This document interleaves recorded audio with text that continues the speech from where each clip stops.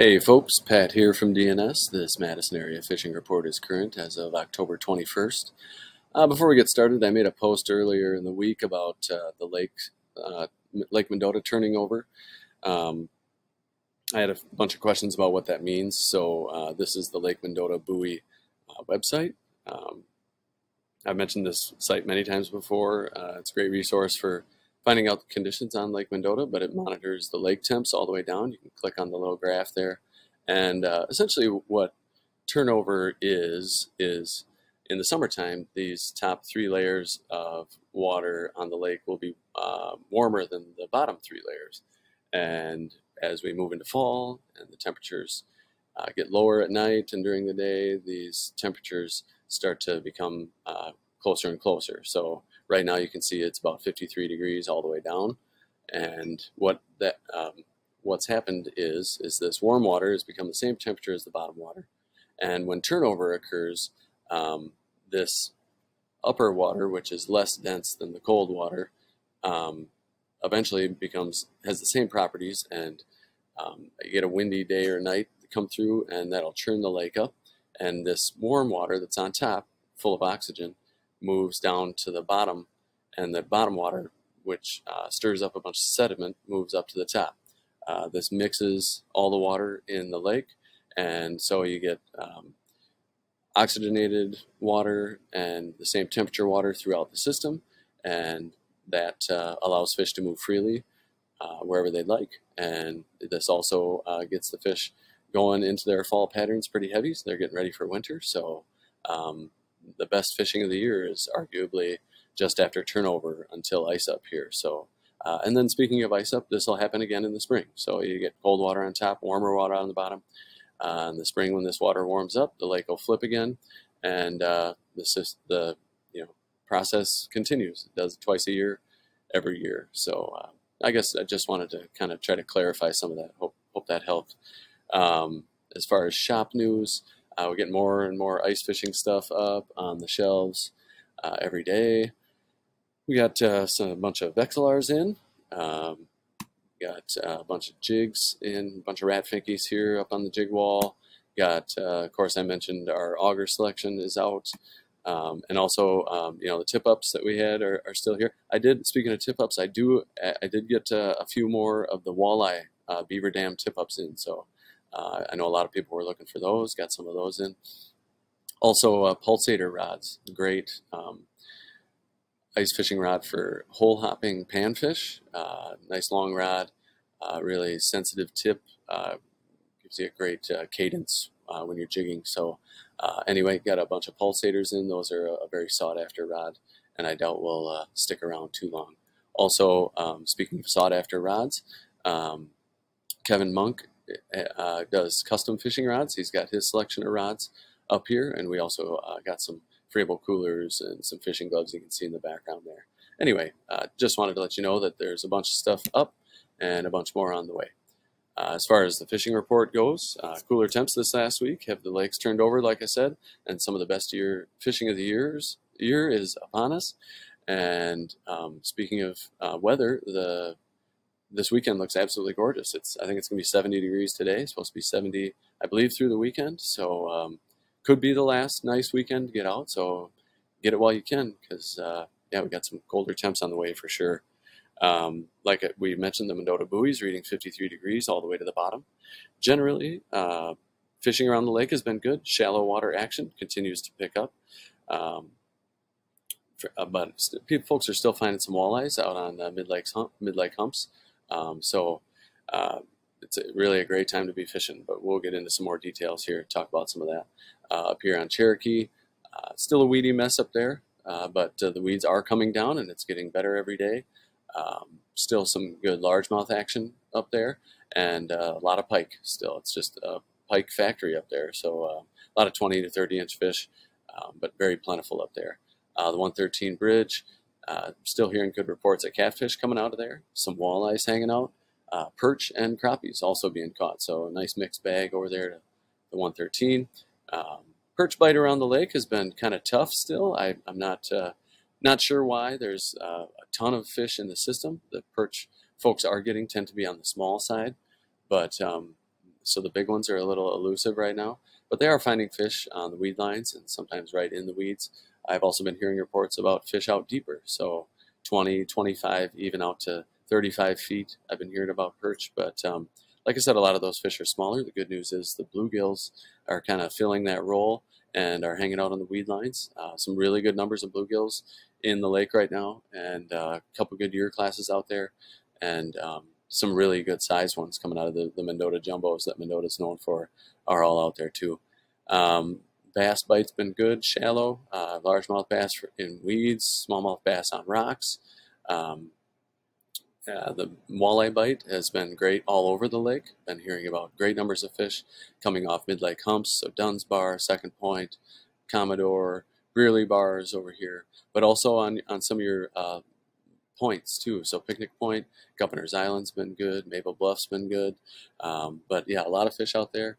Uh, minnow imitations as far as baits, um, you know, swim baits uh, working great. Also hard baits like Rapalas, you know, casting, husky jerks, stuff like that are working well. But uh, still pretty hard to beat a, a you know a fathead uh, either on a jig or under a slip bobber. So uh, lots of good uh, lots of good walleye action out there. Also, speaking of shore angling, the University Shoreline's been good. Up here to Tenney, the breakwall for walleyes has been great uh, recently, mostly an evening bite, but I do hear about fish being caught right in the middle of the day. Uh, not much going on at the spillway itself. Uh, over here, the Yahara River at the Locken Dam, but uh, some good action, a mixed bag of fish, everything from panfish to bass to walleye to even a, a muskie here and there coming out of the river. A um, bunch of tiny bluegills in the Tenney Park Lagoon. I heard from a friend uh, who was fit, catching some of those little bluegills over there the other day that uh, there was some big fish in there chasing around those bluegills. So uh, might be a good chance to get in there, look for some of them. There's bass and, and some nice pike in there. Uh, good fishing always where the Yahara, play, the Yahara River dumps out. Been hearing about some decent pike action along the, the shoreline here. Um, on the north end, I've uh, been hearing about uh, bluegills and perch still on the weed lines and in the weeds. Um, uh, good bluegill and, and crappie action off the Monona Terrace wall. Bluegill and crappie action in uh, Monona Bay and the triangles here continues to pick up. Lake Wingra's been pretty quiet as far as muskie action goes, uh, from what I hear, but um, i know that there's muskies out there, and uh, they're they're getting ready for fall, for winter here, so uh, good chance to get out and get those. I've been hearing about some good panfish off the medical bar out here uh, near Olin Park. Uh, haven't heard much out of the far south end, Squaw Bay and Turtle, Turtle Bay lately. Uh, Rock Pile is always a good uh, spot out here for mixed mixed action. Uh, good muskie spot. And speaking of muskie, I've been hearing about uh, good reports of muskies being caught all over the lake, but uh, I guess more on the south end of the lake. Uh, but Monona, the muskie bite's really been turning up lately. Up here on Upper Mud, the dredge hole's been a great spot for panfish lately, and the shallow areas around uh, in Mud Lake here. Had some good bass action. Um, swim baits have been really effective for those fish. Uh, haven't heard much out of Lake Farm recently, um, but I'm sure there's panfish up there.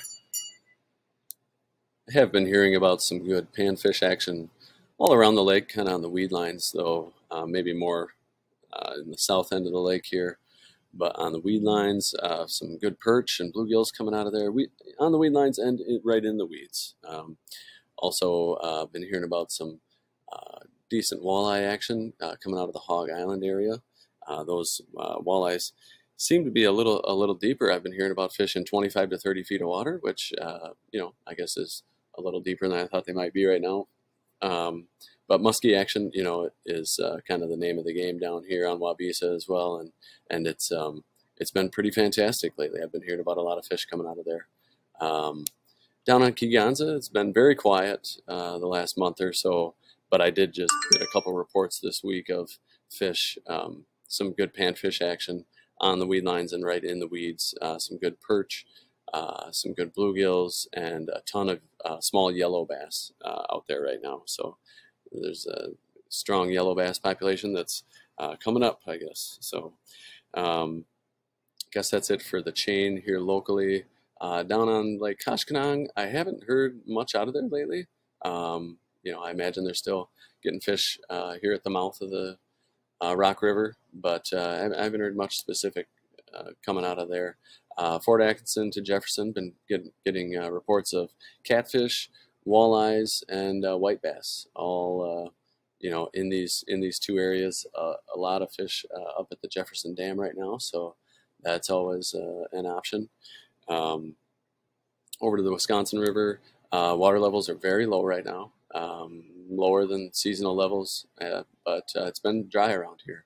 Uh, but what that low water does is it tends to congregate, concentrate fish in um, deeper areas. So dams are great spots, uh, but you know, other side of sandbars, deep corners, stuff like that. So it makes it a lot easier to, to find fish this time of year. Um, but I have been hearing good muskie reports up at the Prairie du Sac Dam. Also good walleye reports up here at the dam.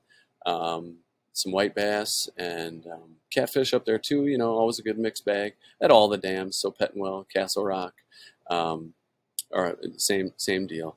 Wisconsin Dells Dam. Always a oh, always a. You never really know what you're going to catch at, at, at, at the dams. Uh, Lake Wisconsin action seems to be picking up a bit uh, on the trolling side of things. A lot of folks getting some good walleyes trolling, um, flicker shad style baits, hard baits like that. I have also been hearing about uh, some nice, uh, or a few panfish starting to move into uh, the shallow bays. Uh, good action from Portage up to the Dells. That's always a, a pretty good float for uh, smallmouth, pike, and muskie. Um, the Wisconsin Dells Dam I haven't heard much out of specifically, but like I said, always a nice mixed bag at the dams. Uh, Castle Rock and Petenwell dams have been um, you know, producing the same nice mixed bag.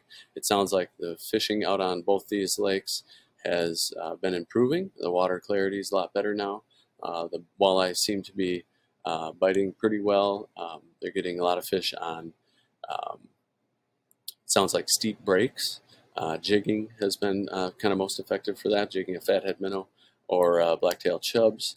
also been hearing about some good panfish action along the shores and shallow areas and structure wood and stuff like that. It's been good.